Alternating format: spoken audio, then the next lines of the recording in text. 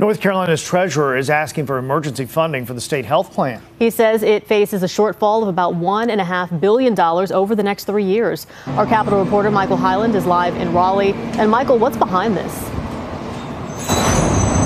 Well, the treasurer says it's several issues all coming together at once. And just this week, the board that oversees the state health plan voted to raise premiums for some retired employees, even those on fixed incomes. Treasurer Folwell is asking the legislature for more money while lawmakers are still here in Raleigh. He says the current budget funded less than what was needed for the plan, which covers more than 700,000 people.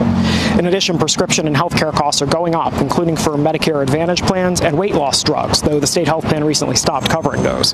There also have been half a million dollars in COVID related costs most of which the General Assembly has not reimbursed. We asked Senate Leader Phil Berger as well about this to see how it's impacting talks about the state budget.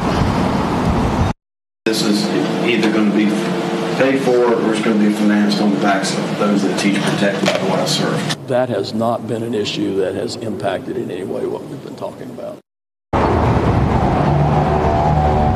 The state is projected to have a billion dollar surplus, which is slightly less than originally thought.